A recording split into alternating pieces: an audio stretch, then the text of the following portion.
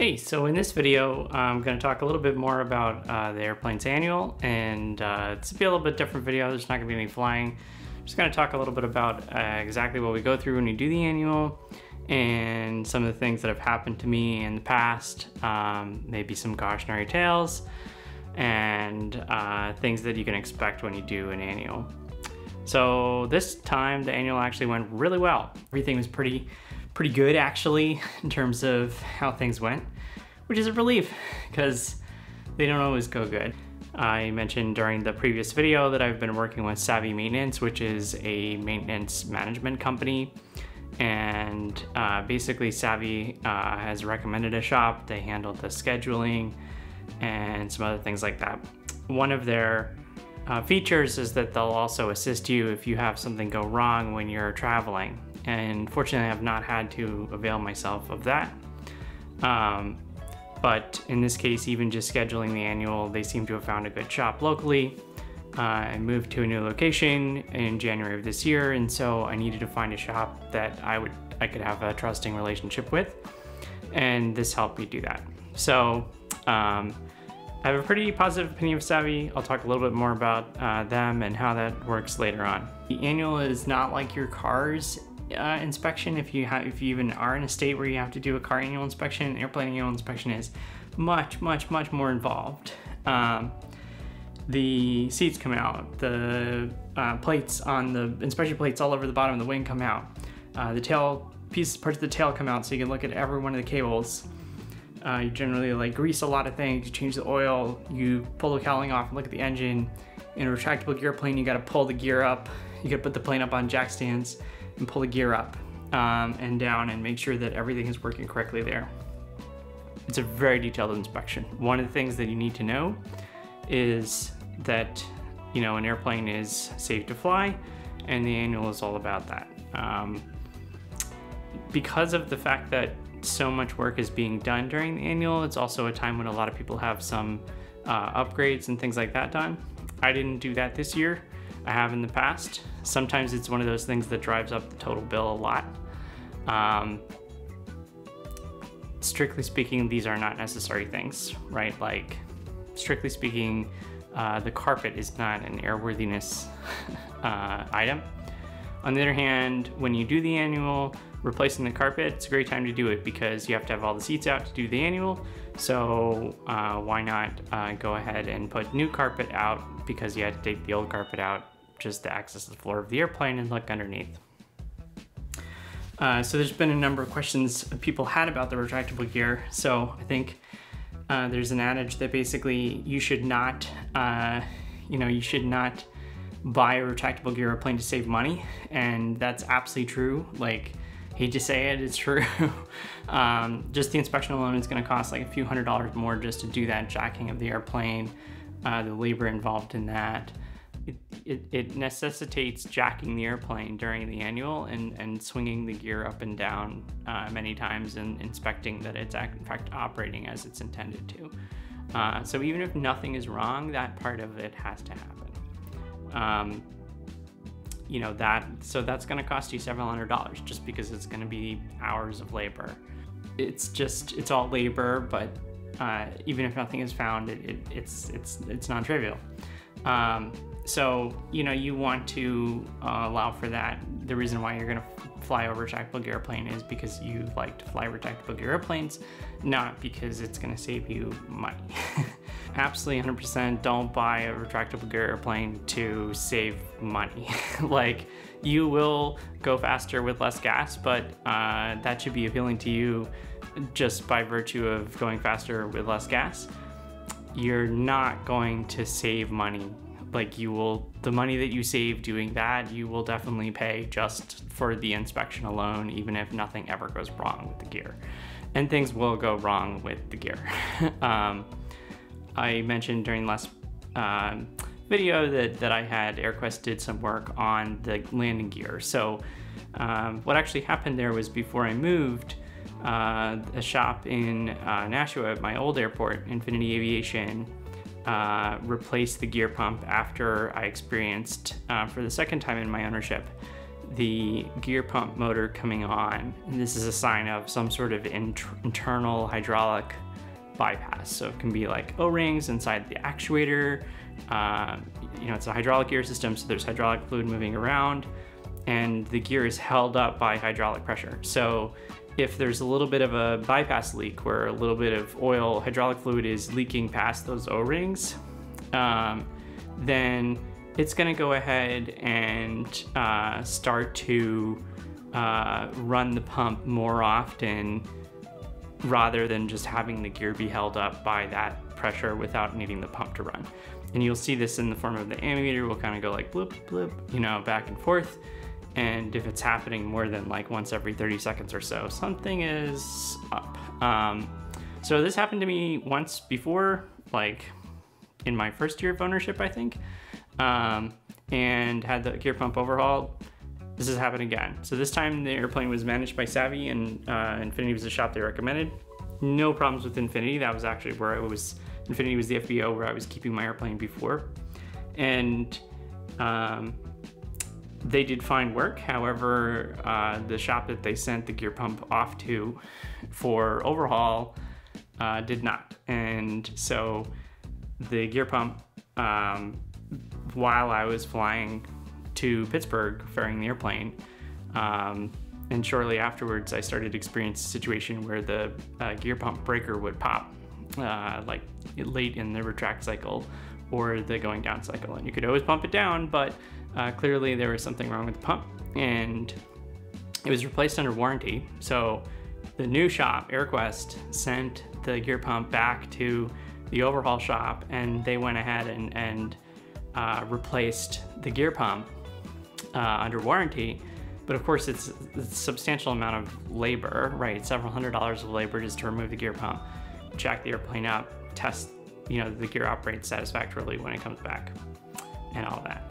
So, uh, you know, the gear is a source of headaches. Um, you know, related, I, I, mentioned Savvy. Like, I think one of the things that's a little bit of a downside of Savvy is that what they don't have is they don't have, um, you know, they don't have type specific knowledge necessarily. So, a uh, great example of this, the uh, the Cardinal flying community is aware that this overhaul shop that Infinity happened to send the pump off to doesn't have a great reputation. Um, it's called Aerospace Turbine Rotables. Uh, I think it used to be called Kelly Aerospace, or maybe I have that the other way around. But basically, they just don't have a reputation for doing amazing work. And uh, I didn't know until I read the invoice that that was who Infinity had sent the shop to sent the um, pump off to, and they were the ones who did it, you know, nine years ago, right? And so, uh, feel like you know maybe uh, the type specific knowledge there, I, I, can inject that into the conversation with Savvy and or, or cut them out and, and talk to a shop owner directly. And I have I have a lot of savviness in that myself. Every two years, you got to do a pitot-static inspection to fly IFR. Uh, that's a $400 flat rate, and that was done here. It's due in August, so it's done slightly ahead of time. Um, but now it'll be on the cadence of the annual. Um, that inspection is uh, it's a check of both the transponder and the uh, altimeter uh, readout, uh, basically, uh, against calibrated info. So let me talk a little bit more about, you know, here's my actual invoice. And so, you know, give an idea about the total cost um, of the uh, annual. there's one more page required. Be right back. The base inspection is 24 hours of shop labor and there's some parts that are involved in that. It's replacing filters and uh, things like that. Um, that ends up being like about $2,200. This covers a lot of things, right? Like, uh, you know, going through the ADs, the airframe inspection, the engine inspection, the propeller inspection. Um, an oil change is part of this and sending an oil sample off. One of the things they did was they did Blackstone oil analysis. Uh, that was requested by Savvy. I actually have a super high opinion of Blackstone for oil analysis. I think uh, they do an amazing job. And, you know, uh, I'm really happy that Savvy requested Blackstone specifically to do the oil analysis. Um, it is, uh, they, they do a really detailed analysis and they discuss the results and share the results with me. So I've had shops do oil analysis before. It's also very common to cut the oil filter open and look inside. Uh, and, you know, like they would send the oil off, but I would never see the results. And they were probably, you know, getting back something they were putting in their folder somewhere, but I never saw them. I supplied CamGuard, which I use in my engine now. Um, and uh, usually uh, it's it's not I believe it's not mandatory to do an oil change during the annual, but it, almost always you would do it because you want to drain the oil and probably cut open the filter and look for any metal. Um, ELT inspection, um, one squawk that I had, which is that my um, my uh, cylinder one uh, cylinder head temp on my uh, Insight uh, gem engine monitor was not uh, you know, it's intermittently not indicating. So that costs uh, three quarters of an hour, so 62.90, which is very cheap as aviation things go. So um, this basically says that they replaced a ring terminal, uh, very simple. Uh, thing. So another thing here, uh, which was another squawk of mine, which is that sometimes the pilot side push to talk switch was uh, just not really like giving a good um, you know, it was a little bit intermittent. Sometimes you, you could push really hard and it wouldn't quite come in or would be, I'd be reported that it was cutting in and out. So just replaced a new switch. It's a $5 part. It's amazingly cheap for aviation. Um, 93 bucks of uh, labor, uh, or 93 total. So, you know, $80 of that is labor, basically an hour of labor. Um, I had considered possibly replacing the headliner panel, which I usually do by getting parts from uh, Vantage Plane Plastics, uh, and I can get a discount um, from the Cardinal Flyers Type Club. I decided not to do it. There's a little bit of a crack in the headliner. Uh, maybe I'll do it next year. I wasn't sure if they were going to find a lot of things during the annual, in which case maybe doing the cosmetic stuff is less appealing. Um, you'll see.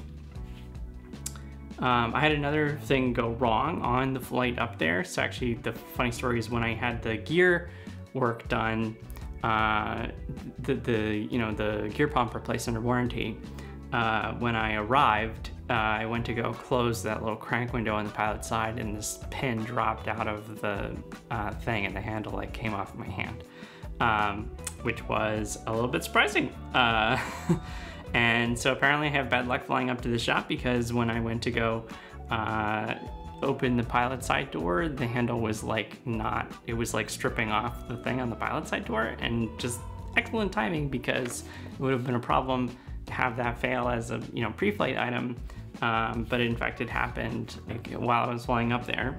Uh, that was too um, 0.8 hours of labor to, you know, take the door off and replace the handle uh, to give you an idea about that. So the part, uh, $486.94, which is a much more typical aviation part price uh, for the door handle. Um, so that was 728 bucks total to fix that problem. Um, one of the things they found was that the um, mechanical fuel pump drain tube was broken, so it was replaced um, roughly an hour of labor and almost negligible part cost. Uh, they recommend something called Corrosion X. Um, I've had Corrosion X treatment done roughly every two years since I've owned the plane. I think it's probably a good idea. Lots of shops recommend this treatment. Corrosion is a major problem for light aircraft, especially that don't fly that much um, or sit out on the ramp. So I don't. I have my airplane in the hangar now, but still, Corrosion X is a really good idea. So basically, what it is, it's like an oily stuff that they spray around inside the wings, and it can leave a little bit of uh, ugly uh, leach out from the rivet holes and the seams in the wing, uh, which looks bad, but uh, it's not bad for the plane. Uh, the problem is that if I'm going to repaint the plane in the next year, then you probably don't want to do the corrosion X prior to that. Uh, it might cause the paint to not adhere quickly because it's kind of oily. So I elected not to do that. Um, the ELT or emergency locator transmitter uh, battery was replaced. Um, did the pitot static inspection, so this is required for IFR flight every two years. It was due in August, so it's appropriate to do it at this time. Um, that cost uh, $400 as a flat fee. Looks like uh, that's how they charge it, which is totally in line with what I would expect uh, that to cost. Um, there are some various uh, ADs. A fuel strainer was installed, 45 bucks. Uh, another AD was inspected. Uh, the fuel lines, $40. So the total there comes out to 3,949.76. Um, 681.11 of that is parts and labor is $2,600. Um, and yeah, this is broken out by like oil and freight as well. So, um, and the airport itself actually charges uh, some fee. It's like a tax. Um, so yeah, uh, that's what your bill rundown looks like. This is a low annual for me, partly because I didn't do any uh, upgrades, right? In the past, I've often done some upgrades, but uh, also, you know, more things have been found before. And the shop that I took them the plane to in the past, I don't know whether it's it's really hard to tell um, if they were finding more things or just spending more time. Like it's pretty common that they would take a much longer amount of time to do the work and they would find, spend like, you know, a few hours tweaking flap, you know, cable tensions and stuff like that. Um, and it would be billed as a separate charge, which really adds up to be like, you know, an extra thousand dollars or whatever, right? By the time you're done with all of these. Um, it's hard to tell whether that is a real thing. Like, you know, were they overcharging me? I don't know. Um, you know, that's a little bit hard to tell. I think they did very good work. Um, I think this shop is also seems to have done very good work. So it's hard to tell if, you know, they're just finding uh, fewer things because the, the plane's been pretty well maintained in the past little bit. I've had annuals that were, you know, way up in the $10,000 range. Um, the sort of things that can go wrong, it can be pretty extensive. Um, you can have a lot of small things wrong. You can have a lot of uh, big things wrong. Yeah. Plane's been running great since I got back. Uh, I'm pretty happy with uh, the work that was done. It was done quickly and uh, really that's all you can hope for And this is to get the plane back in the air with a bill that's not uh, too ridiculous uh, when it comes to annual inspections. Um, you know, two weeks of downtime is that's that's very good. Um, I'm very impressed with that. So yeah, so to give a little bit of a wrap up of what you know, give you a little bit of wrap up of what the annual inspection is like.